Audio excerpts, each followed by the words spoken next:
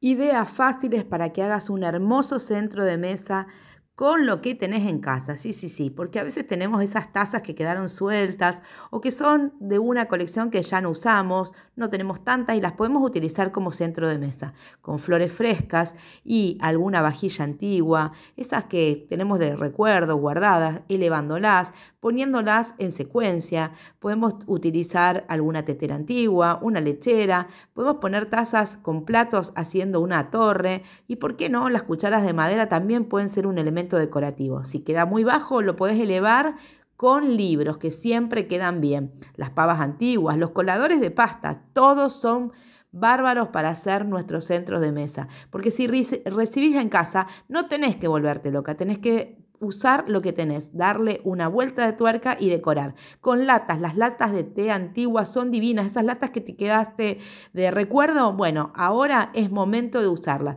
Espero que disfrutes de estas ideas y que hagas hermosos centros de mesa para recibir en casa.